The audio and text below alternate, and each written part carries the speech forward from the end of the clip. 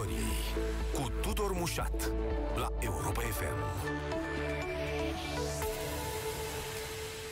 Bun găsit tuturor pe frecvențele radio și live uh, pe Facebook. În fiecare mijloc de decembrie facem exercițiul ăsta de aducere aminte și de bilanț, într-un fel, cu care cred că suntem datori în fiecare an, raportat la decembrie 89, la momentul în sine, dar și la drumul parcurs din acel moment până în prezent. Iată, sunt 32 de ani și dincolo de toate controversele, frământările, nemulțumirile legate de elucidarea episodului, avem 32 de ani uh, de la acel moment, uh, cu bune și cu rele și o să le luăm la, la puricat în ediția de față, dar nu numai, o perspectivă interesantă a felului în care decembrie 89 și chiar și perioada dinainte se vedeau din afara României, de partea cealaltă a cortinei de fier.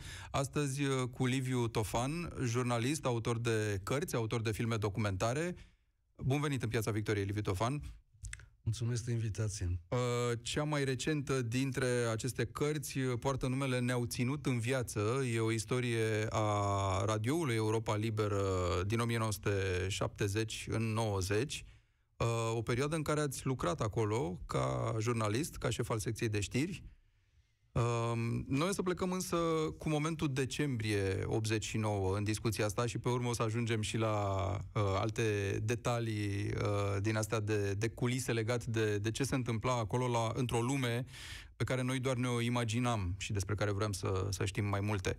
Uh, cum se vedea decembrie 89 de acolo, din München, din Germania, uh, începuseră deja frământările. Suntem în 15 deja, nu? Practic putem să prima, prima marcăm... seară exact. Prima... a revoltei, a da. Revoluției de la, de la Timișoara, uh-huh. 15 decembrie, în fața casei lui pastorului Tökeș, eh, prima manifestație de solidaritate cu el și de protest împotriva regimului, fix la ora asta, acum 32 de ani.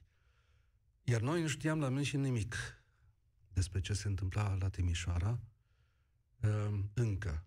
Ehm, știm cum s-au legat lucrurile, pentru că ceea ce a început pe 15 seara a continuat pe 16, a luat o amplare extraordinară, a urmat nenorocirea din 17 și um, în acea duminică și am încercat să descriu în carte uh, și acel, acel moment, a fost uh, un moment evident uh, special.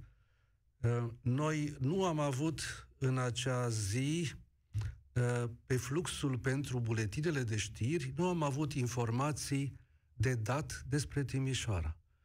Fluxul pentru știri era uh, un flux special unde uh, informațiile erau trebuiau să fie absolut uh, corecte și verificate Uh, distinct de fluxul știrilor generale. Uh-huh. Fluxul de știri. Fluxul de știri n-am avut nimic despre Timișoara. Din două sau trei surse, ca să elucidăm mitul din ăsta? Două. Că, din două. Două surse okay. de încredere. Deci când spui în, în România, după 90, în, la începutul da. presei libere, când spuneai știre verificată din două, ba chiar din trei surse, toată lumea știa la ce faci referire. Era standardul Europei Libere. Două surse. Două surse erau. Două da. surse. Da.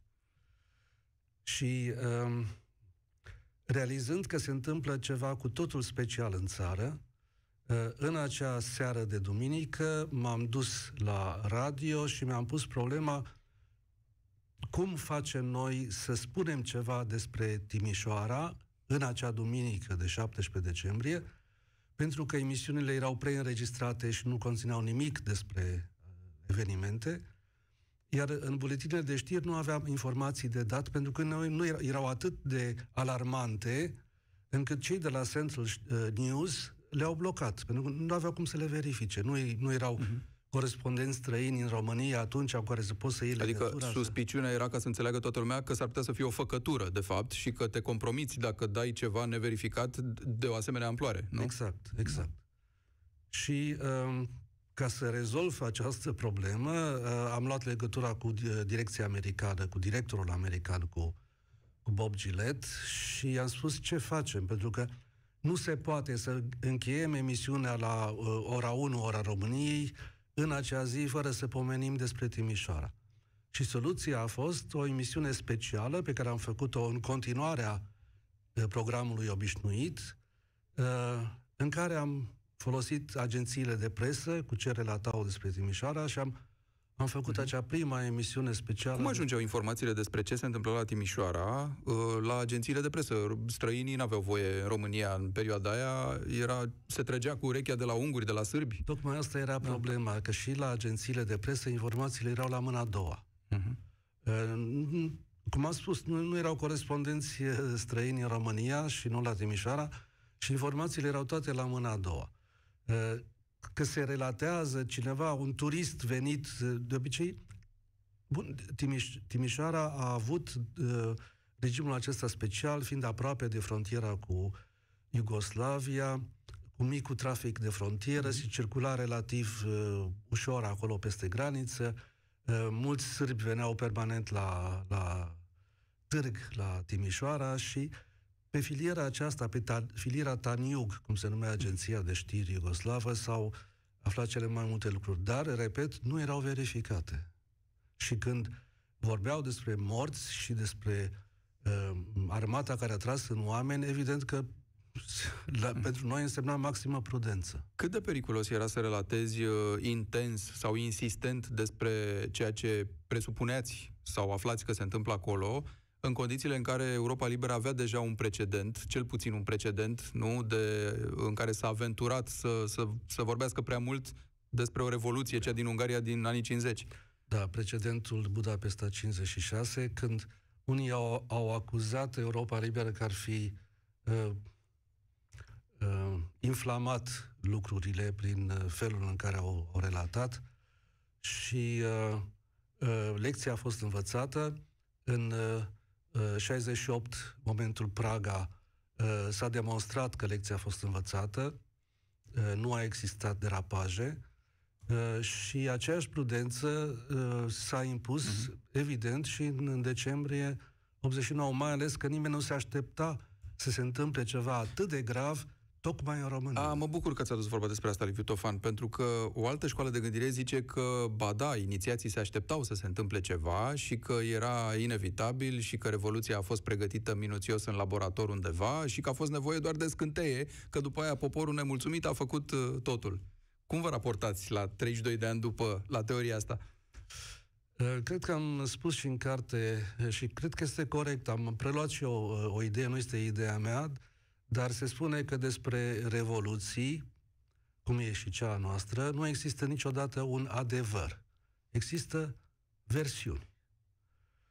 Așa că, nu știu, să contribui și eu cu o versiune, nu m-aș încumeta. Uh, noi nu ne așteptăm, am avut niciun fel de indiciu. Noi, la München, la Europa Liberă, că se va produce ceva, nici de, despre Nici Iași. măcar de la americanii care controlau uh, postul, nu? Până la urmă. Nu, pentru că nu a existat o conspirație. Uh, și nimeni nu a pus la cale ceva.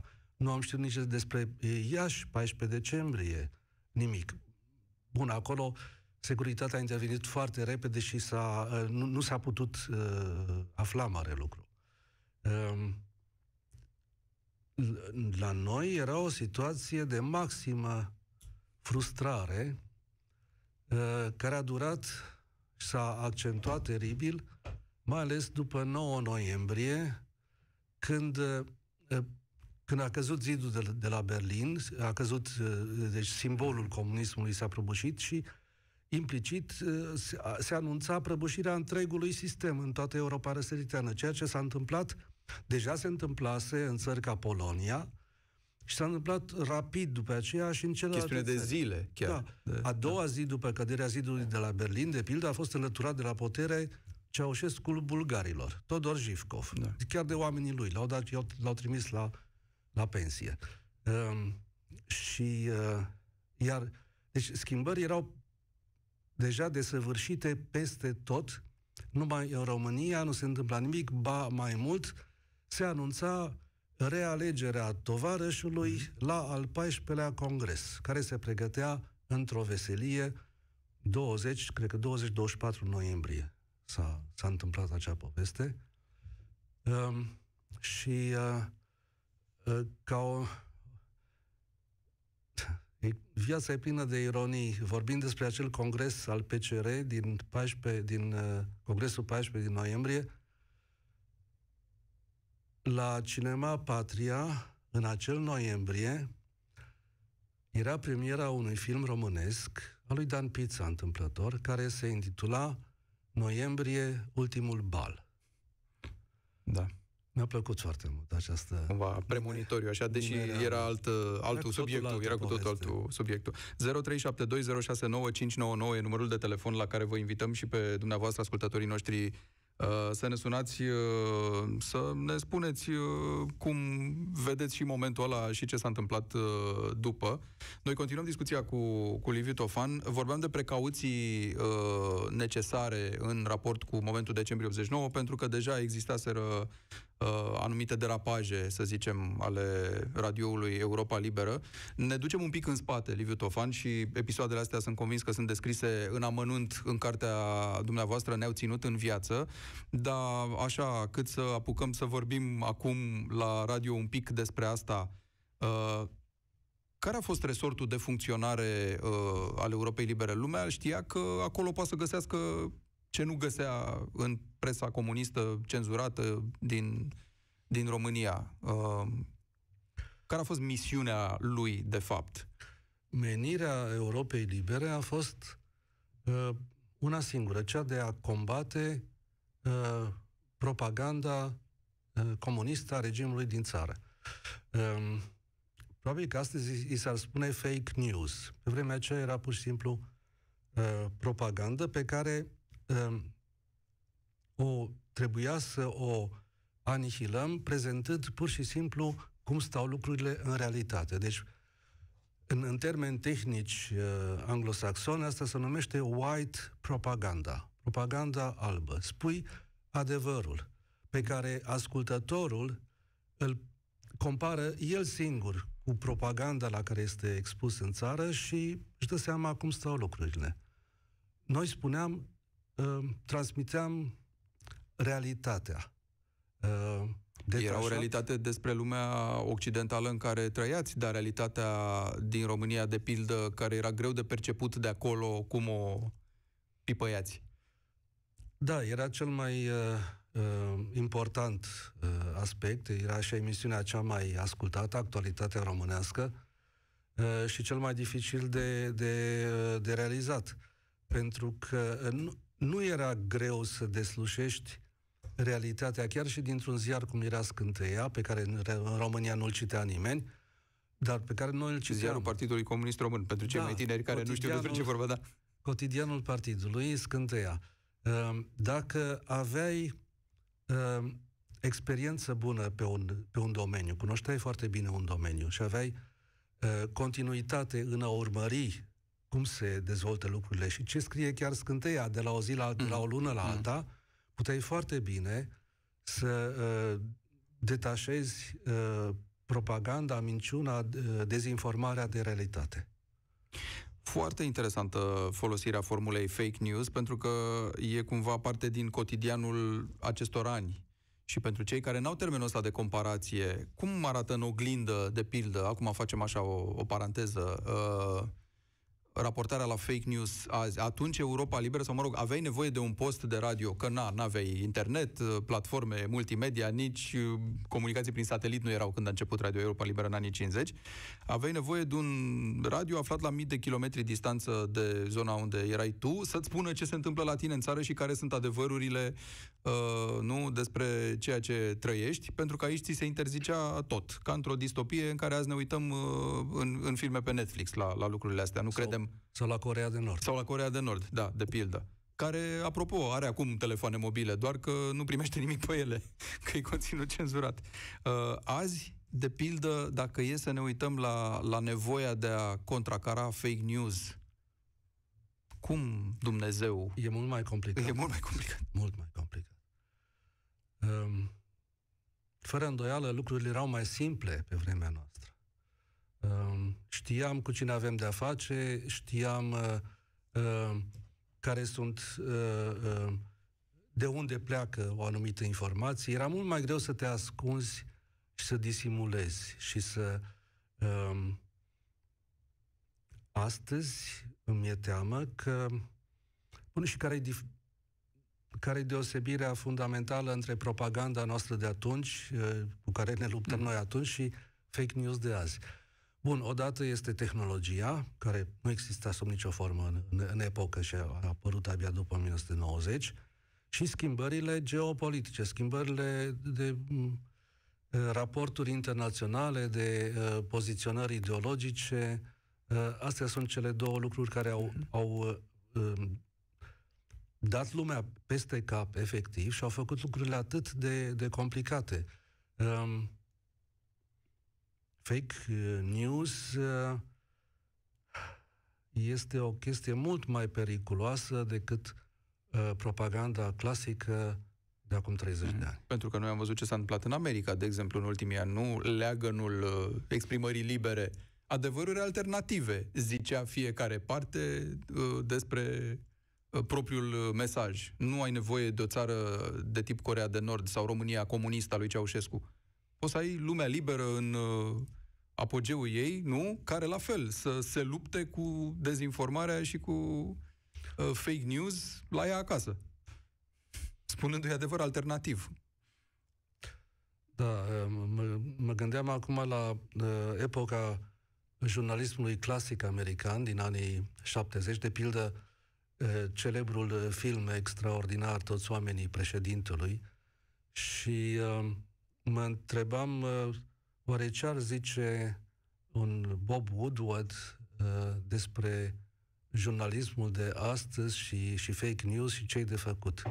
Cred că mm, nu știm încă ce, cum putem să le descurcăm în, în situația asta. Da, trebuie să mai experimentăm, probabil, uh, până să ne, să ne prindem. Da, lucrurile erau uh, mult mai simple, dar erau și mult mai complicate între timp, pentru că accesul la informație, cum ziceam, era extrem de, de îngrădit Acum, să zicem că ai dificultatea alegerii și a selecției, atunci aveai pur și simplu dificultatea interdicției. Nu? Pur și simplu. Iar Europa Liberă asta a făcut.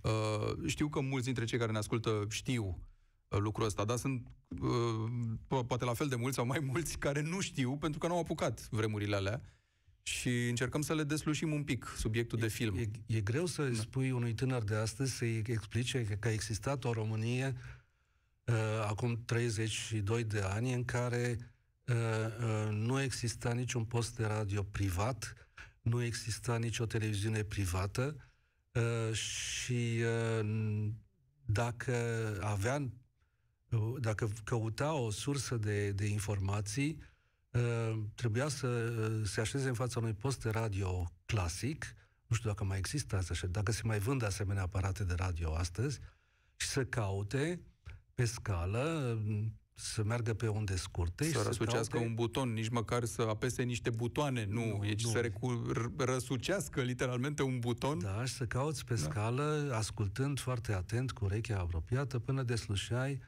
uh, un post de radio străin, unde, de unde puteai să afli câte ceva, sau să asculți niște muzică. Mm-hmm. Muzica care a fost culmea, un mare atu al Europei Libere, un post de, altfel un post de radio eminamente politic. Recepția dificilă că țiuituri, pârâituri, ca să aibă lumea o imagine despre ce însemna emisia pe unde scurte. Uh, greu să asculți muzică, să înțelegi ceva din ea, nu? Pe unde scurte. Da, se putea. Uh, cât de cât. Undele scurte au calitatea că sunt singurele care bat foarte departe și au, uh, uh de cealaltă parte, sunt uh, foarte uh, ușor de, uh, de bruiat și uh, foarte susceptibile la interferențe. Și cu toate acestea, emisiunile muzicale ale Europei Libere, respectiv ale lui Cornel Chiriac inițial, au fost cel mai mare succes uh, al acestui post de radio. Era bruiat uh, Europa Liberă? Europa Liberă nu era bruiată. Pentru România, nu? Toată lumea credea că era bruiată pentru că re- condițiile de recepție erau atât de dificile. Dar uh, bruiajul a, a fost bruiat în anii 50 și a încetat bruiajul în 1964 în România și în același timp și în Ungaria, întâmplător. În toate celelalte țări a continuat până în, la sfârșitul lui 1988. Dar noi am, măcar nu am avut acest uh, obstacol al bruiajului. Da, ați avut alte obstacole de tip uh, bombă plasată la sediu, nu? Da, pentru că uh, regimul Ceaușescu și uh, securitatea uh, vedeau în Europa liberă un mare pericol pentru stabilitatea regimului. Uh, dacă, într-adevăr, uh, dacă aveau dreptate să vadă noi un mare pericol, ăsta este, cred, un compliment. Și poate când în decembrie 89 s-a materializat cumva. Apropo de episodul ăsta în care explozia unei bombe puse la sediul Europei Libere a rănit, nu mai țin ca și ucis pe cineva, nu. dar a rănit multe persoane și a provocat, evident, pagube uh, materiale. Cum era privit un astfel de gest, că practic e, e ca și cum le-ai fi pus o bombă americanilor în fond. Chit că existau departamente naționale, român, bulgar, maghiar și așa mai departe, acolo, pentru lumea comunistă. Da, postul era totuși o creație și condus de, de americani. Tocmai de Cu aceea, ce s-a lăsat chestia asta? Tocmai de aceea nimeni altcineva nu a încercat o asemenea nebunie, cum a făcut-o securitatea prin uh, teroristul Carlos Chacalul, care a vrut să ne uh, desfințeze uh, brusc și definitiv uh, printr-o bombă, pe care însă au pus-o la vreo 100 de metri distanță de unde era uh, departamentul românesc uh, al, al radioului. Deci a fost uh, un, uh, un uh, răsunător uh, eșec uh, și prin faptul că explozia a fost atât de departe de secția noastră, nimeni nu s-a gândit că ne era adresată nouă. Și nu am avut atunci uh, niciun fel de alte informații sau indicii că atentatul uh, trebuia să ne distrugă pe noi. Asta am aflat abia după 1990 mm-hmm. și am aflat suficiente lucruri la un moment dat încât am putut să prezint toată această poveste pe documente într-o carte pe care am publicat-o. 0372069599 în direct cu noi este Adrian. Bună seara, Adrian. Bună seara, domnul Mușat și invitatului toate respectele. Uh, întrebarea mea pentru el este cât de uh, reală ar fi un uh, conflict armat la granițele noastre cu Ucraina, adică Rusia, în speță Rus- Rusia, mm, și în același timp când consideră dânsul că o să ajungem și noi o democrație apropiată, să zic, de cea a Germaniei, cam câți ani consider că o să mai treacă. Mulțumim, Adrian. Cred, cred că e mai ușor de răspuns, sau mă rog, mai ușor de, de făcut o încercare la întrebarea 2, mă gândesc, nu? Da, la întrebarea 2... Uh, um,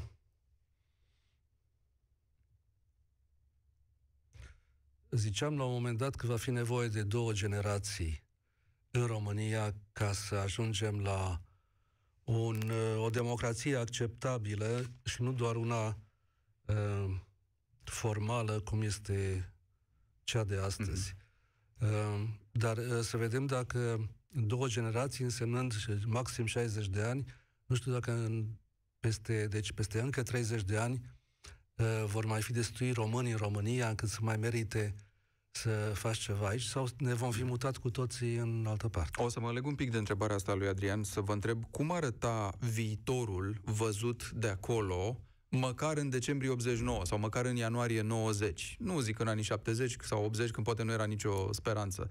Dar în momentul în care lucrurile s-au întâmplat, cum vedeți lucrurile? Se potrivește ceea ce s-a întâmplat în ăștia 32 de ani cu ceea ce vă imaginați că se va întâmpla în ianuarie 90? Nu, sigur că nu se potrivește. Eram uh, uh, atunci, în ianuarie 90, ianuarie, februarie, până la Uh, până în mai-iunie, uh, România a avut un cec în alb extraordinar uh, pe care pur și simplu l-a aruncat la gunoi.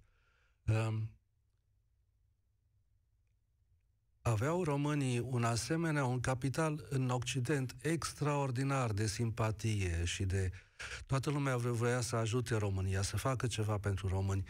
Uh, de neimaginat astăzi ce, uh, um, ce imagine extraordinar de bună aveau românii atunci, ce capital formidabil ar fi însemnat această imagine dacă nu ar fi fost prăpădită complet în iunie 1990. Când de fapt, mă rog, se încerca ținerea pe loc într-un alt fel de comunism, căruia să nu-i spui comunism, nu? Era democrația originală. Era o democrație originală, dar în care să rămână aceleași persoane din eșalonul 2-3 al regimului comunist. Și același mecanism. Mm-hmm. Și asta ne-a întârziat o grămadă. A schimbat cu totul uh, cursul uh, istoriei României, sigur că da. E unul din motivele pentru care Europa Liberă, ca post de radio, a încetat să mai emită pentru cele mai multe dintre țările foste comuniste.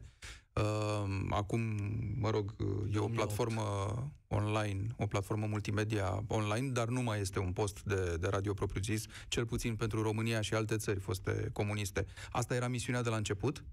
Să se sinucidă, uh, sau mă rog, să să se detoneze și să dispară acest radio odată ce dispare și comunismul? Uh, da, asta a fost întotdeauna și s-a, țin minte că noi Bernardo afirma, o sublinia în comentariile lui. Uh, s-a intitulat Europa Liberă pentru că urmărea eliberarea Europei de comunism și uh, avea nobila misiune de a se sinucide atingând acest obiectiv, uh, pe care n-am crezut că o să-l trăiesc. Noi, la radio, n-am crezut că o să apucăm. Uh, să vedem uh, succesul uh, pe care și l-a mm. propus Europa Liberă. Despre începuturile, mă rog, destul de cețoase ale acestui proiect, pentru că e acolo o întreagă intrigă Uh, mă rog, demnă de anii 50, uh, cu fonduri venite de la servicii secrete, dar amestecate în același timp cu bunele intenții ale unor uh, membri ai exilului și donatori de bună credință o să aflați mai multe în uh, cartea Ne-au ținut în viață, uh, a lui Liviu Tofan. Uh, un alt Adrian e în direct uh, cu noi. Bună seara, Adrian! Bună seara, bună seara și invitații dumneavoastră. Vă rog. O întrebare mă, mă macină de mult timp, având în vedere ce se întâmplă în politica României. Uh, e posibil să vină înapoi să se întoarcă în de extremism populist. Extremiștii populiști, ziceți, că nu vă auzim foarte bine. Da, Repet da, eu ca să fim da, siguri. Extremiștii populiști, exact, exact. Având în vedere ceea ce se întâmplă în momentul actual. E posibil să întoarcă comunismul sub forma populismului înapoi? Mulțumim, Adrian. Da, e bună întrebarea că atunci când nu mai găsești soluții democratice la probleme, zici ce bine era că, uite, comuniștii nu tolerau lucrurile astea, erau mână forte. Acum, mă rog, alții ca ei, chiar dacă n-au aceeași ideologie, tot mână forte e formula. Da, dar uh, n-aș aduce termenul uh, comunism în discuție în legătură cu asta. Mm. Uh, doar uh, pentru că, hai să spunem, regimul comunist poate fi uh, definit și ca un regim al imposturii.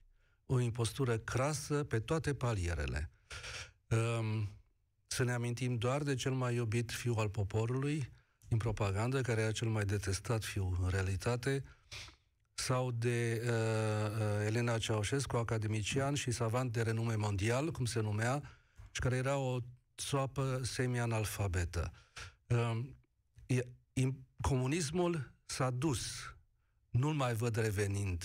Uh-huh. Uh, din păcate a rămas impostura uh, și uh, teamă mie că ea definește, astăzi mă uit la ce se întâmplă în jur, uh, definește parcă la fel de uh, puternic uh, regimul uh-huh sau sistemul de astăzi ca pe cel comunist. Și postura este foarte periculoasă pentru că uh, înseamnă că nu există substanță. Lipsa este un, o democrație de, de fațadă uh, neautentică uh, și uh, uh, asta poate să fie foarte periculos. Dincolo de populismul este doar un, un, un mic aspect al, mm-hmm. al problemei mari. Da, mai rămâne ceva uh, de pe urma abordării comuniste, chiar dacă ea era lipsită de substanță. Componenta asta de ordine, de disciplină, de a construi ceva Nu? N-ați auzit de atâtea ori? Da, blocurile făcute sunt urâte. Da, metroul e ca vai de el. Da, le-a făcut. Da. Comunismul le-a făcut, pentru V-a că alții fost- nu le-au făcut. Și componenta asta de disciplină, de valori care nu se negociază, toate lucrurile astea sunt atribuite și regimului comunist și pare cumva că există dorința asta din ce în ce mai mare, uh, nu, de a vedea așa ceva întâmplându-se. Nu comunism, ci mână forte, Da, să sigur. zicem. Există, dar cred că doar în, în partea răsăriteană a Europei, uh, nu în Occident, în partea răsăriteană unde există încă o anumită nostalgie uh, a totalitarismului pe care oamenii, unii oameni l-au îmbrățișat și pentru că societățile din cum e cea a noastră sunt încă insuficient de stabile uh, pentru a face față unor asemenea uh, ispite. Da, uh, la noi există și un asemenea pericol. Lucruri alimentate copios uh, și de la răsărit, de la Moscova, apropo de o întrebare primită mai devreme, care sigur are legătură apropo cu o de- chestiune imediată, Și dar apropo de fake news. Și apropo de fake news, dar are legătură totuși cu această permanentă nervozitate a Rusiei, nu? De a ține lucrurile instabile. Nu doar în jurul ei, în întreaga Europa, dacă se poate. Uh, Da, și mă uitam la o știre uh, de astăzi uh, în care era vorba despre personali- despre, despre uh, platforma Sputnik uh, rusească uh, în limba română și despre personalitățile anului pe care le-au uh, le-a ales această platformă, uh, respectiv uh, uh, senatoarea Șoșoacă uh, și Partidul Aur promovate de platforma de propagandă a Moscovei. Care e cumva, uite, uitându-ne și la experiența dumneavoastră de la Radio Europa Liberă uh, și uitându-ne și la ăștia 32 de ani, uh, lecția, recomandarea, avertismentul, la ce să fim atenți, uh, apropo și de, de fluxurile astea de informații care ne, ne năpădesc.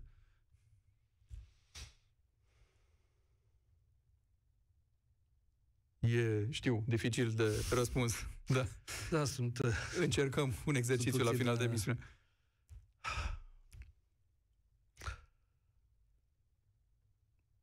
Cui ne adresăm? Despre, despre asta e vorba în primul rând. Des, des, pentru că um, avem în țara asta mai multe românii și categorii foarte diferite.